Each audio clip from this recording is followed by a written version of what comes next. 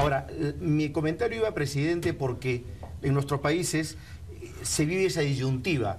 Crecimiento para luchar contra la pobreza, porque en realidad sin crecimiento no se puede luchar contra la pobreza. Y bajo ese punto de vista, lo que yo le quiero preguntar es, ¿qué rol tiene para el gobierno del Ecuador la inversión privada hoy en día? Pero una precisión. Eh, puede haber crecimiento empobrecedor, ya ha pasado en América Latina.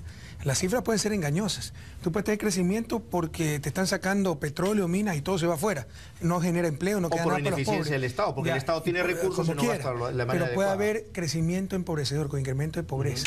El crecimiento ecuatoriano es muy sano. Y otra cosa, sin crecimiento, con lo que tenemos, creciendo cero, con una mejor distribución del ingreso, no solo en Ecuador, en Perú, en América Latina, eliminaría la pobreza absoluta. Entonces no es solo un problema de crecimiento, de mayor eficiencia y capacidad económica, es un problema de justicia también. Y yo diría sobre todo un problema de justicia. En Ecuador, bienvenida a la inversión privada. Eh, Nadie eh, nunca ha estado contra inversión privada, pero tampoco nos vamos a, a sentar cruzados de brazos a que la inversión privada nos haga las hidroeléctricas que requerimos para tener energía. ¿Será este el último mandato de Rafael Correa? En principio sí.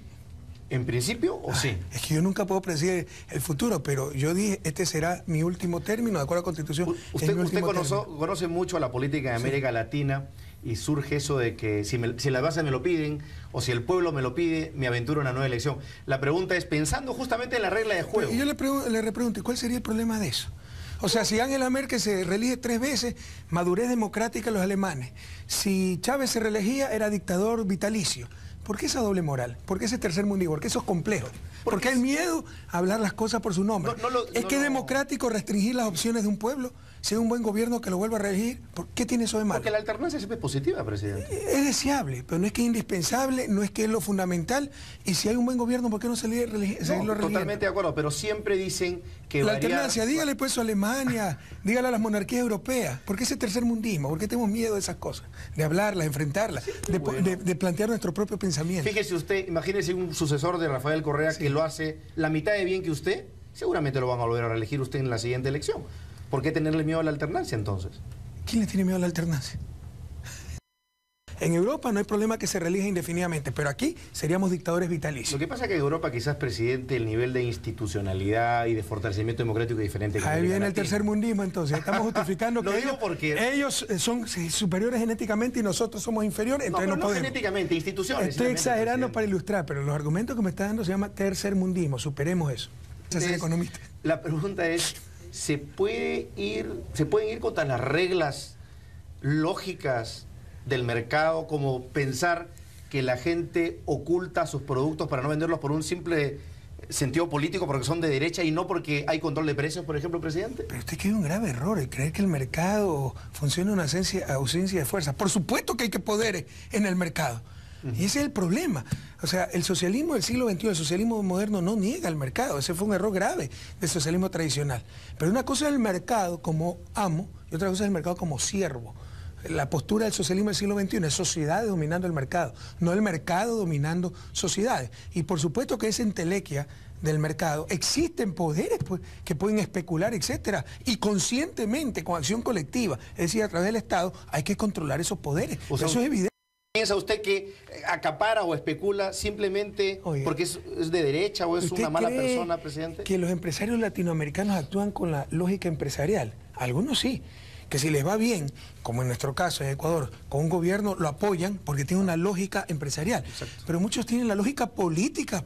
Lo importante es que sea su gobierno que controlen eso. Así nos han dominado dos siglos. O sea, está bien que se vayan a la cárcel esos terribles personas que suben precios o no quieren vender sus productos Pero si especulan, pero por supuesto pues están haciendo un daño social. Todo de acuerdo a la ley, no sé lo que diga la ley venezolana, pero lo que lo- yo le estoy argumentando es que usted cree que es la mano invisible del mercado y oferta y No, demanda. simplemente hay manos bien visibles. cuando hay control de precios, el poderes, hay funciona. poderes muy claros, pero tampoco es cierto. ¿Cómo que no? O sea, usted está asumiendo que todo mercado es perfecto. No, sobre este tema en particular que es obviamente álgido tanto en Venezuela como en Argentina, ¿usted cree que la señora Kirchner, el señor Maduro, van a ser bien recordados dejando el aparato productivo de sus países como lo están dejando, con ese nivel de inflación, que justamente aqueja a los más pobres, no a los que más tienen dinero, a los más pobres?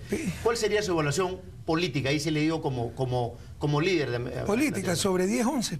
Usted tiene sus prejuicios, ¿no? Ya, ya, No, que- no, que- es una evaluación es que lo que acaba, no, realidad. lo que acaba de mostrarme son sus prejuicios, porque parece olvidar pues cómo encontraron los Kirchner Argentina, pues, o no se acuerda el corralito, el colapso de la convertibilidad, el desastre cuando Menem vendió hasta la camisa de la rúa que con caballo que colapsó, se olvidaron ya de eso. Es que se han olvidado cómo durante 70 años Venezuela fue el principal productor petrolero del mundo. Y toda la plata de la oligarquía venezolana se la llevó a Miami. Se olvidaron de eso. Y vaya a ver pues los informes de la CEPAL. Venezuela en este momento es de los tres países más equitativos de América Latina, de los que más reduce pobreza y es el que más cree, el que más cree en la democracia. Pero que el la- segundo, pero- el segundo pero más- se llama Ecuador. Más, más destruida, una actividad productiva destruida, presidente. O sea, Pero para ¿qué- que Venezuela se reconstruya, van a tener que pasar Usted- probablemente el mismo tiempo que ha gobernado Chávez su, su país. o ¿Qui- sea, ¿Quién se lo contó eso? Caballo. No, lo veo, lo, veo en los reportes del BID, del Fondo ¿Y Monetario. usted le cree al. Fondo Monetario todavía? Bueno, Por favor, qué ingenuidad. Dígame, ¿cuándo Venezuela ha tenido un aparato productivo? ¿Cuándo ha tenido industria venezolana? Ahora no importaban todos los oligarcas porque nunca les interesó desarrollar las fuerzas productivas venezolanas. Venezuela, Venezuela ha importado siempre todo. Ahora con Chávez se, se ha intentado crear una industria venezolana. Superemos los prejuicios, veamos objetivamente las cosas. Veamos también los procesos históricos. ¿Qué era Venezuela antes de Chávez? ¿Qué era Argentina antes de los Kirchner? ¿Y le parece un Prohibido olvidar y le- Latinoamérica. ¿Y le parece Venezuela un país más libre ahora? Pero por supuesto, mandan los pobres. pues. Lo que pasa es que los dueños de los periódicos son los que se perdió el poder. Oye, usted lee la prensa ecuatoriana. Tenemos las cárceles repletas de periodistas. Tenemos preso a todo dirigente social que, porque criminalizamos la, la protesta social. Vaya, vea pues quién está preso en el país. Pero eso es lo que pone la prensa. Yo soy un dictador autoritario. No hay independencia de poderes, controlo todos los sea, poderes. la justicia es una sucursal del ¿ese es un Ejecutivo. invento de la prensa, Pero por supuesto, pues es un poder fáctico que ya perdió su dominio y está desesperado y busca por todos los medios afectar a los gobiernos que no se someten a su poder. Y yo no estoy Una negando aquello. libre, ¿no no, una cosa es libertad Usted de expresión. la prensa libre. ¿Y qué es la prensa libre para usted? Los negocios de- que, que convierten la información en mercancía. Los negocios como el que describe Mario Vargas Llosa. Esto no es libertad de expresión, esto es corrupción. Pero nadie llama las cosas por su nombre.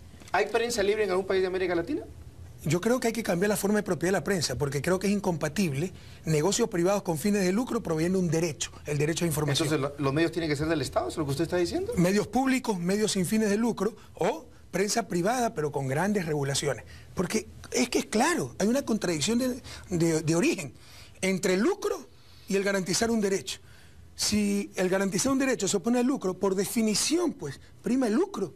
Esto es una contradicción de origen, lo que O sea, existe no puede en el modelo una- capitalista de No prensa. puede haber una empresa privada, presidente, que fielmente crea en la pluralidad, en contrastar opiniones, en poner todas las opiniones y poner a disposición de la opinión pública para que tome una decisión. O sea, para usted eso no existe, son puros Puede cuentos. haber, pero va a ser la excepción, pues no la regla. Y necesitamos que la regla sea ética y, Y por eso los profesional. medios tienen que estar regulados, supervisados, controlados. Oye, Esa es la única solución. A ver, le hago una pregunta. ¿Tener medios de comunicación da poder o no? Depende. O sea, da poder, no me da con cuento, da poder porque con eso se crea la generación, la, la opinión le- pública. le- la sociedad no solo tiene el derecho, tiene el deber pues de controlar un- Le cuento- los poderes. cuento- poder de mercado, poder mediático, todos los poderes. Es- Los medios de comunicación de algunos países de América Latina ya no ponen y quitan presidentes, pero siguen haciendo daño, mienten.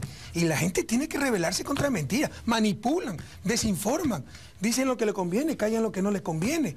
Eso no es libertad de En prensa, Ecuador- eso es manipulación. En Ecuador, presidente, la mayoría de los medios de comunicación tienen esas Pero características. por supuesto, Mario, no se engañe. Si a mí me, a mí me muerde un perro, al día siguiente entrevistan al perro. O sea, no se engañe. Son poderes.